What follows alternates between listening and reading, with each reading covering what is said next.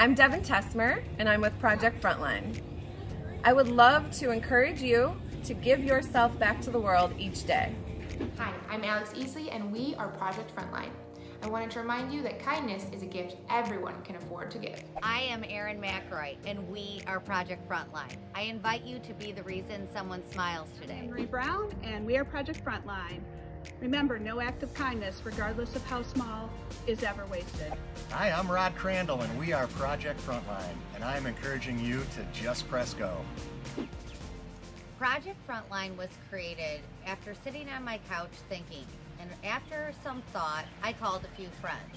And those people helped me distill that together we could create something that everyone could participate in. A way to spread kindness while lifting frontline workers up and showing support to local businesses hit hard during this pandemic.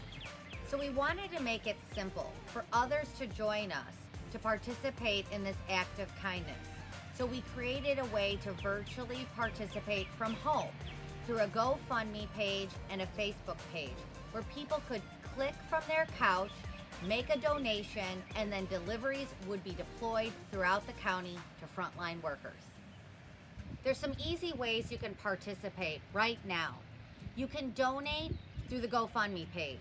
You can share the GoFundMe page and follow the Facebook page.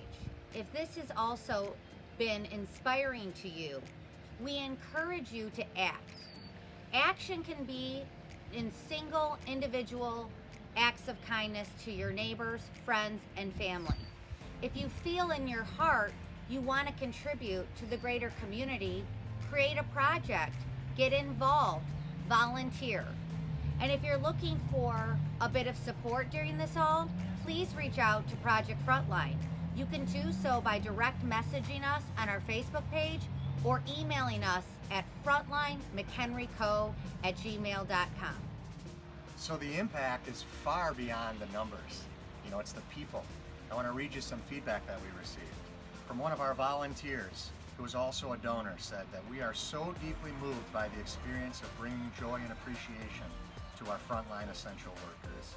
Thank you for making all that happen. And I also want to share a recipient to, to this love and joy.